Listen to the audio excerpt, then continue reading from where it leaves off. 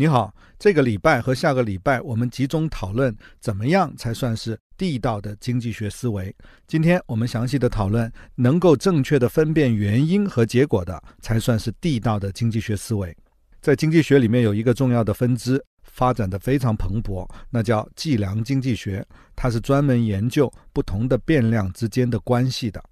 而在这些关系当中，很重要的一种特征叫相关性。我们通过大数据的分析方法，只要发现一种情况发生，伴随着另外一种情况发生，我们就说它们之间有相关性。而有相关性的事件之间呢，可能同时也存在着因果性。我们研究很多男艺术家的长相，发现他们很多都留着长头发，这时候长头发和艺术气质之间就存在着相关性。但这相关性并不意味着因果性。你今天忽然想当艺术家了，把头发留长，并不见得就会增加你的艺术细胞，使你成为艺术家。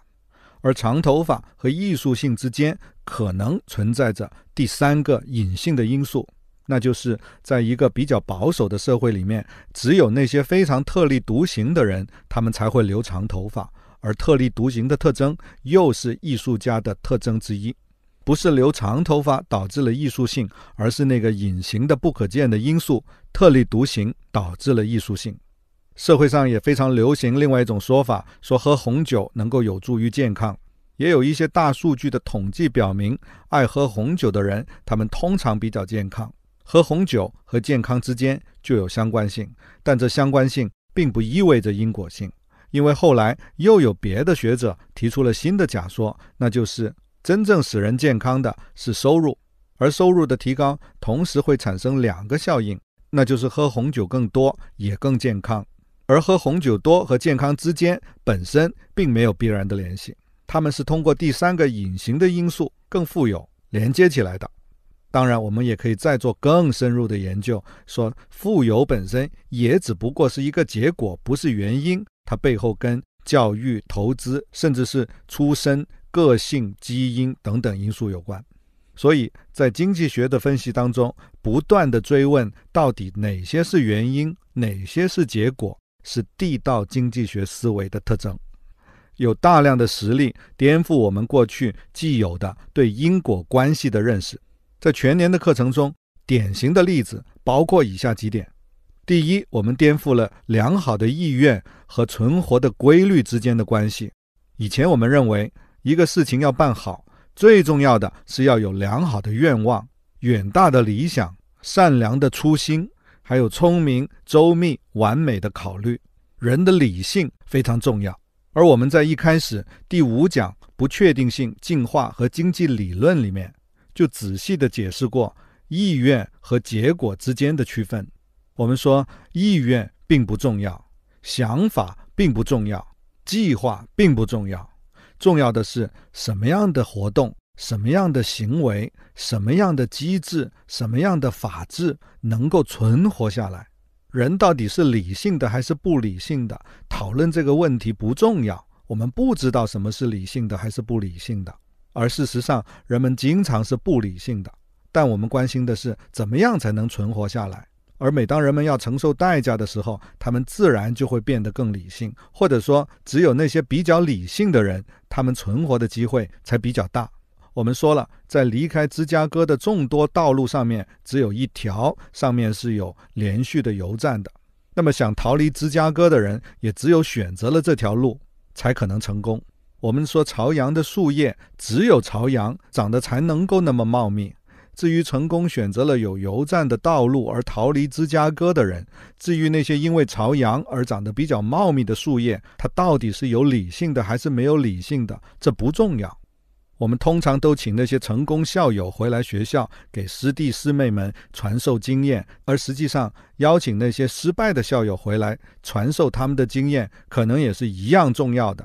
事实上，人们只是在成功了以后才去编造那些他们成功的理由。从而给人一个印象，仿佛他们的成功是必然的，而事实上是他们成功了，他们才有意无意的去剪裁、定制他们当初的理由，去强调过去某些想法，去忽略甚至去隐瞒过去的另外一些想法。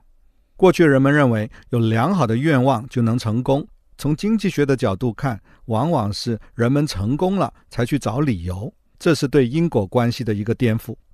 颠覆因果关系的第二个例子，是我们对时间上先发生的和后发生的，以及在因果关系上谁是因谁是果之间的区分。记得吗？我们在讨论成本的时候说，在会计课上我们学到的是产品原材料的成本决定了最终产品的售价。在时间上看，往往也是这样。我们先进了货，经过一段生产的过程，包装、运送、销售。才把钱赚回来，那显然是商品的原材料成本决定了产品的最终售价啊。时间上看是这样的，但是经济学的逻辑却相反。我们说是最终产品的供求关系决定了最终产品的售价，而最终产品的售价又再倒过来决定在生产环节每一种生产要素的成本。整个价值产生的因果关系是倒过来的。世界上不存在合理的利润率，商人是能赚多少就赚多少的。当然，世界上也不存在合理的亏损率，血本无归也是正常的。也只有这种倒过来的因果关系，那就是由供需倒过来决定生产原材料的关系，才能够解释这种现象。第三个因果关系颠倒的例子，是我们说每一个人在实际的市场当中，往往都是价格的接受者，他们跟整个社会而言，对整个经济体而言是被动的关系，而不是主动的关系。人生活在一张巨大的网当中，它只不过是一个节点，一个受到各方牵制的节点。一个人昨天晚上把他的房子卖掉了，卖了一百万元。这一百万元看上去是他决定的价格，是他宣布的价格，但实际上他只不过是向市场汇报了他的房子在当时当地实际的市场价格。他不是价格的决定者，而只不过是价格的汇报者。第四个经典的例子是我们讨论联邦储备局对全球利率的决定关系的时候所讲的道理。几乎在所有的财经新闻里面，我们听到的事实是，美国联邦储备局又宣布要调整利率了。他宣布以后，世界各国的各种利率也会随之进行调整。但事实上的因果机制并不是这样的。真正的因果关系是，全球无数的个体交易、现货和期货之间的交易，改变了总体的全社会的平均利率。而联邦储备局由于他做了比较多的研究，及时发现和确认了这种变化。他为了保持自己的联邦基金利率和市场的利率保持一致，他就宣布调整他自己的联邦基金利率。而由于联邦储备局的认识具有全局性、具有普遍性、具有领导性，别人跟随他的调整而调整，能够节省大量的研究费用。所以看上去是联邦储备局决定了全球的利率，但实际上只不过是联邦储备局向全世界汇报了全球利率的变化方向和幅度。这跟电视台里天气预报节目的主持人向市场预告了第二天的天气，而不是决定了第二天的天气一样。我们把因果关系颠倒过来看的第五个经典的例子，是我们在讨论反垄断法的模块。讲价格勾结的时候提到的，两家生产高度一致的产品的企业，他们的产品价格亦步亦趋，一个改变，另外一家也改变，看上去好像是有勾结，记得吗？我们举过一个例子，说两只鹰在天上飞舞，它们总是保持方向的一致，你很可能就会以为它们之间存在着某种方式的勾结。但实际上，你把镜头拉远一点，你会发现地上奔跑着的野兔，两只鹰并没有勾结，它们只不过是在追逐同一只野兔而已。两家企业并没有真正勾结，他们只不过是根据市场的供需变化情况调整他们的产品售价，他们只不过是售价者而已。我们把因果关系颠倒过来看的另外一个重要应用，是我们在讲信息不对称的时候所提到的经济发展和国民教育之间的关系。很多人以为国民教育的提高是经济增长的原因，但事实上，他们之间的关系很可能是颠倒过来，是经济增长导致了教育水平的提高，而不是相反。是人们生活变得富裕了，才延长了教育的时间，而不是得到了充分的良好的教育，经济才增长。你要知道，这其实是个好消息。因为如果经济增长可以先于教育水平的提高，那许多贫穷的国家、教育水平低下的国家，他们可以在很短的时间内就享受经济的高速增长，而不需要等到他们的国民的教育水平达到那些发达国家的教育水平那样才享受经济的增长。回顾我们中国过去三十多年的经济高速增长，我们看到的事实，我们得到的经验也是这样。许多家庭的致富是先于他们平均教育水平的提高的，父母先致富了，子女的教育水平才跟上来，这是好消息，这是发展中国家可以后来居上的机会。我们讨论因果关系要颠倒过来看的另外一个很重要的例子，是我们对工会和罢工的分析。很多人认为，因为有了工会，有了罢工，工人的生活水平才得以提高。但事实上，全民生活水平的提高是由于生产力水平的提高而提高的。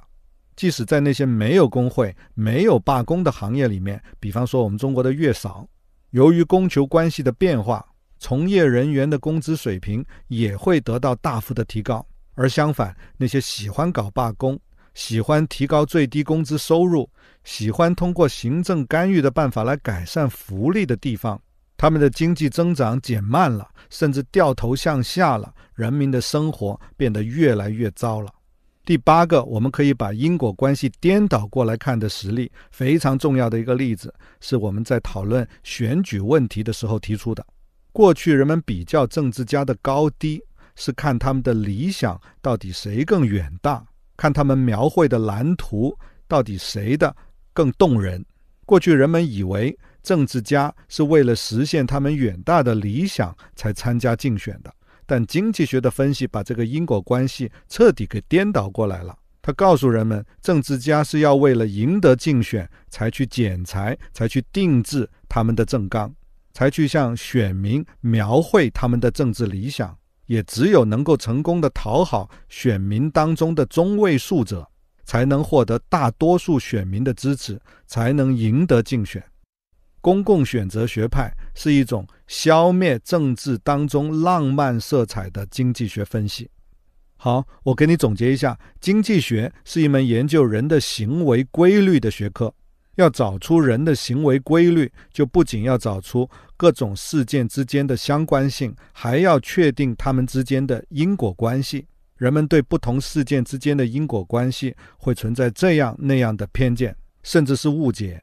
经济学分析可以修正这些偏见和误解。我们在这一讲里总结了我们全年课程当中八个典型的例子。